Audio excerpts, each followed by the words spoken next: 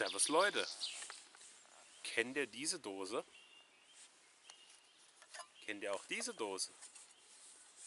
Aber was die meisten von euch noch nicht kennen, ist diese Dose. Das ist die Jubiläumsausgabe der Coca-Cola. Coca-Cola wird dieses Jahr 80 Jahre alt. Und das habe ich zum Anlass genommen, meine Kamera einzuschalten, um euch das zu berichten. Ja, Coca-Cola, die meisten von euch werden es kennen, unter diesem roten Deckel verborgen, äh, Geschmacksrichtung Zartbitter. Seit ein paar Jahren gibt es eben auch Vollmilch und mir war es selber nicht bekannt, dass es diese Schokolade 80 Jahre schon gibt. Ich habe lediglich mal irgendwo mal gelesen, irgendwo aufgeschnappt, dass angeblich schon im Zweiten Weltkrieg diese Coca-Cola als Ration für die äh, Luftwaffenpiloten eingeteilt war, dass sie einfach munter geblieben sind, wach geblieben sind, äh, Energie hatten. Und dann war es mir klar, dass es zumindest so lange schon diese Schokolade geben muss, aber wie lange insgesamt, hatte ich nicht gewusst. Jetzt weiß ich, diese Schokolade gibt es seit 1935. Für all diejenigen, die jetzt denken, von was reden der überhaupt? Coca-Cola habe ich noch nie gesehen. Was ist das überhaupt? Ja, Coca-Cola ist eine Schokolade, die in einer Dose verpackt ist, in kleinen dreieckigen ja, Portionen.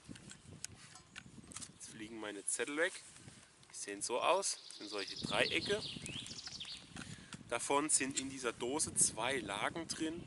Äh, insgesamt sind das 16 solche Ecken und hat ein Füllgewicht von 100 Gramm, also wie eine mal, normale Tafel Schokolade vom Gewicht, aber portioniert in einer Blechdose. Was macht jetzt diese Coca-Cola so besonders? Auf den aktuellen Dosen ist es eigentlich kurz knapp beschrieben.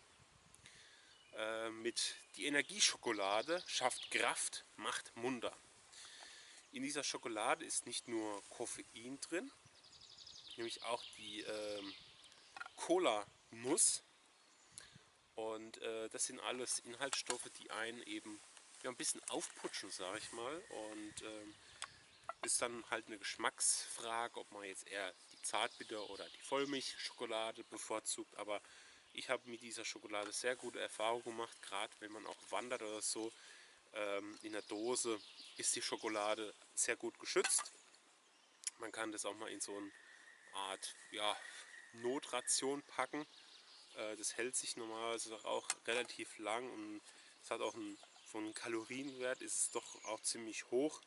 Gerade die Vollmilch hat dann mehr Kalorien, mehr Energie und äh, ich bin ein absoluter Fan von diesen Coca-Cola äh, und wie gesagt aktuell die Jubiläumsdose etwas so gilbrig, nicht weiß. Das Logo sieht auch etwas anders aus. So ein bisschen Retro-Look. Und äh, die Schokolade ist natürlich nach wie vor die gleiche, bloß die Dose hat sich eben verändert. Also das ist absolut meine Empfehlung für alle, die es vielleicht nicht kennen. Schaut mal in eure Drogeriemarkt, in den Supermärkten, das steht ähm, oft nicht bei der Schokolade, habe ich schon gesehen. Das steht oft bei so Hustenbonbons, steht es mit dabei. Ähm, manchmal steht es auch bei der Schokolade. Ist unterschiedlich, kommt auf das Geschäft an. Und ähm, bei mir in der Region ist es leider so, dass man ausschließlich nur die äh, Zartbitter-Variante bekommt und die Vollmilch-Variante bestelle ich mir regelmäßig bei diversen Online-Shops, wenn ich eh irgendwas bestelle, so wie bei ASMC, Cotton und Zeller etc., Globetrotter hat es auch. Wenn ich ja eh immer was bestelle, bestelle ich mir immer ein, zwei Dosen von dem Vollmilch mit dazu, weil es eben bei mir keinen einzigen Markt gibt, der diese Sorte führt. Und probiert es einfach mal beide, entscheidet für euch, welche euch besser schmeckt. Und das war es jetzt mit meiner Empfehlung zur Coca-Cola 80-Jährige. Macht's gut, guten Appetit, ciao.